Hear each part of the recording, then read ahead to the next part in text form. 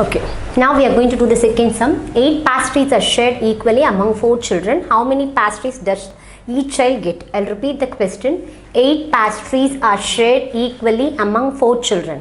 How many pastries does each child get? This is the question. So this is also division. So number of pastries, that is total number of pastries is 8 and number of children equally shared is 4 children. Okay, so we are going to find out number of pastries each child get they are going now, now we are going to find out number of pastries each child get. That is the question. How many pastries does each child get? I'll repeat the question once again. Number of pastries that is total number of pastries is 8 and number of children equally shared is 4 and number of pastries each child get that is the division you know that.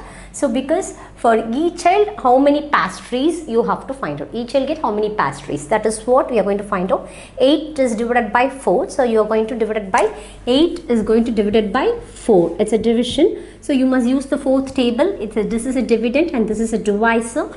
So first you have to compare. So what is 8 is what?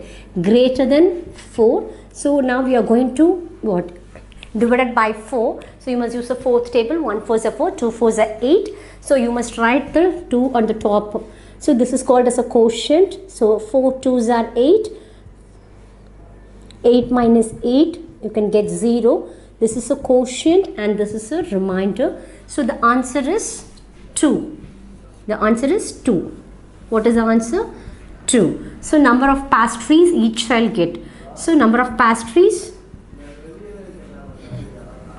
again you have to write number of pastries. Each child get two pastries. Okay?